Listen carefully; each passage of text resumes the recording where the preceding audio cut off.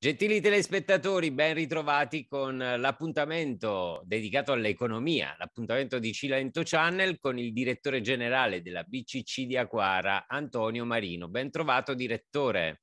Buongiorno, buongiorno a voi. Allora, partiamo subito dalle attività della BCC di Aquara, le ultime attività svolte e i programmi per questo mese di dicembre. Aggiornaci subito, direttore. Ma di, di programmi di particolare c'è poco, nel senso che il nostro programma principale è trascorrere delle feste eh, felici e contenti, insomma, che già sarebbe tanto visto che il virus è tornato a, a presentarsi. Insomma.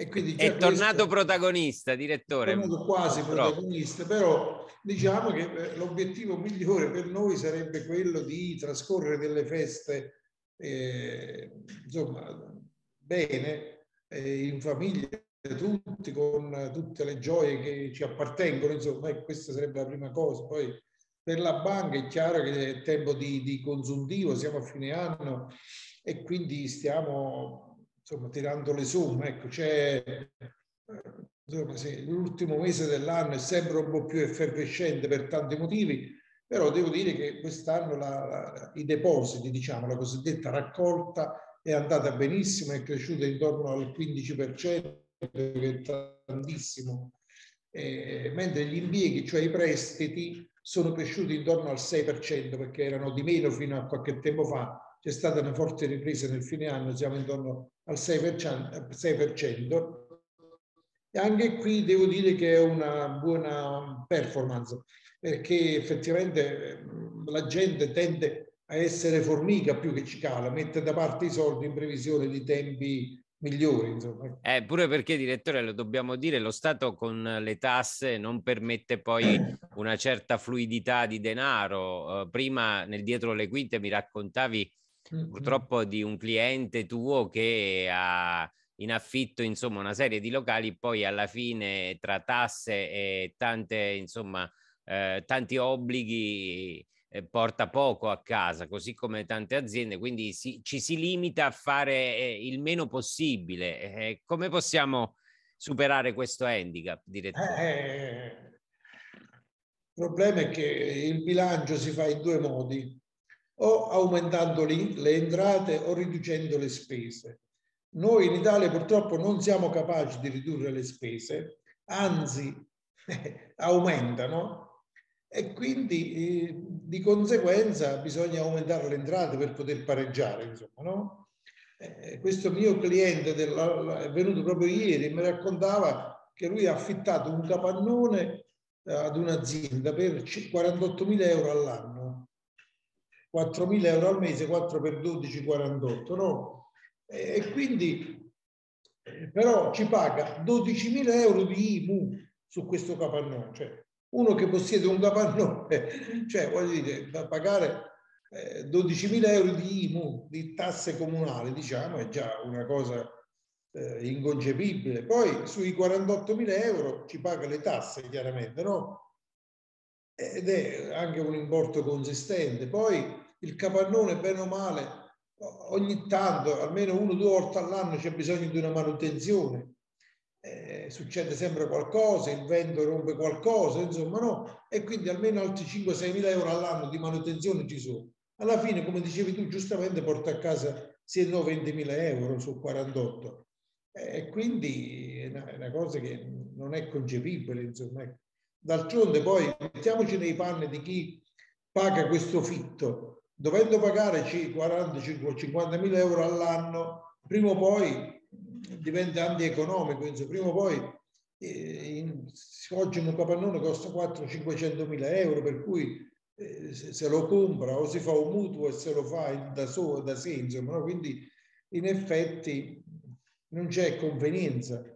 Ecco perché tutto il sistema economico viaggia verso, eh, come devo dire, lo sconsigliare alle imprese a fare impresa che è un dramma perché le imprese sono quelle che oggi pagano le tasse no? e, fanno, e, con la crescita economica fanno, fanno, crescere il paese. Quindi se noi continuiamo a tartassare le imprese con tanti controlli ogni giorno, tante tasse, tante cose, Oggi io vedo tanti piccoli imprenditori che eh, si sono ritirati nel senso di eh, ridurre l'attività e dice voglio fare il minimo indispensabile, eh, campo e vado avanti. Insomma, ecco, ma non, non c'è, io non la vedo in giro questa grande voglia di intraprendere, insomma, a livello diffuso, anche tra i giovani oggi, che sono poi il motore della società. Tra i giovani non c'è questa voglia di intraprendere, cioè il primo pensiero di un giovane non è quello di fare impresa oggi, è quello di, di, di trovarsi un posto, di fare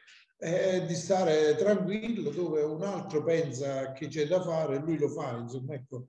E questo è triste che quando una, una società, la parte giovane della società non ha voglia di, di intraprendere, eh, si ferma tutta la società. Assolutamente, i giovani oggi, direttore Consenti, mi sono annichiliti, li vedo proprio spenti. Mm perché non hanno ben chiaro il futuro per eh, colpa di una società, la nostra, insomma, che non gli ha eh, creato delle basi necessarie per poter andare avanti e per, per poter guardare bene appunto il loro futuro eh, non solo di lavoro ma anche familiare. Infatti c'è sempre più difficoltà anche di mettere su famiglia. Abbiamo pochissimi nati. Ho visto un report l'altro giorno che insomma vede le nascite in Italia in calo. Davvero è difficile uscirne, direttore. Eh?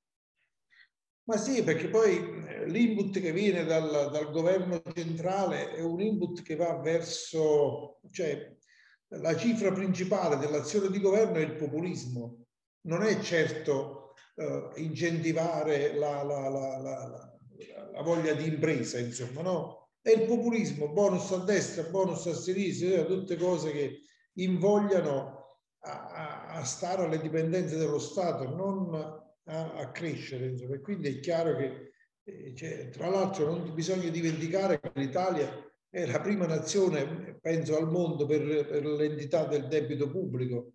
Quindi sono tutte situazioni che prima o poi verranno al pettine.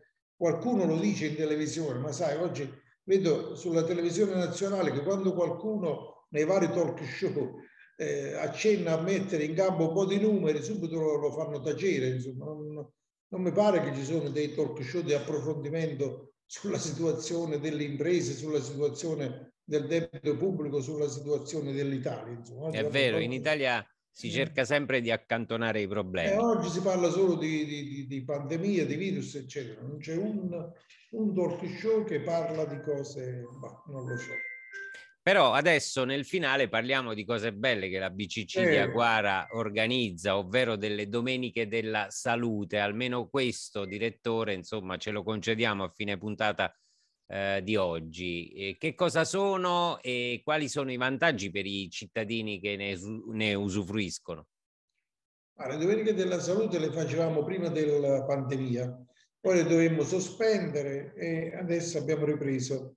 Eh, ogni domenica invitiamo uno specialista ad Aquara, questo è un, un qualcosa che riguarda Aquara, e invitiamo uno specialista a fare delle visite gratuite. Ne abbiamo già fatte tre, eh, domenica scorsa è venuto il dottor Cavaliere, urologo della, della Cobellis di Vallo, eppure abbiamo fatto un sacco di visite. Quindi vengono a fare queste visite gratuite eh, perché? Perché noi eh, nelle zone interne eh, abbiamo bisogno di certezze sanitarie perché la popolazione, la maggioranza della popolazione è adulta, è anziana quindi tu a, un anziano la prima cosa che gli devi dire, devi dare un po' di certezze sanitarie, altrimenti uno insomma, se ne scappa. No?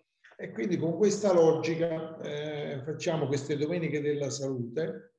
E adesso continuiamo, ci fermiamo un attimo a Natale, ma già il 9 gennaio abbiamo già un'altra domenica e poi tutto andiamo avanti speditamente, ogni domenica verrà uno specialista.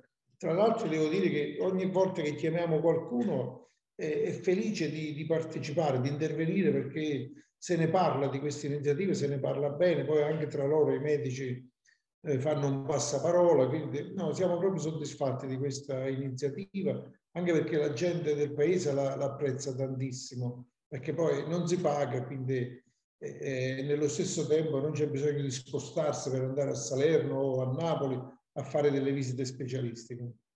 Beh, io direi che sono delle iniziative che tutti dovrebbero fare nei propri comuni. Direttore, io ti ringrazio con questa bella notizia e ci vediamo la settimana prossima per poter fare insieme magari gli auguri di Natale non solo ai clienti della BCC di Aguara, ma anche ai telespettatori di Cilento Channel. E certo, ci mancherebbe altro, è il minimo sindacale. Buona giornata, direttore. Ciao, Alla settimana prossima. Ciao, ciao, ciao, ciao.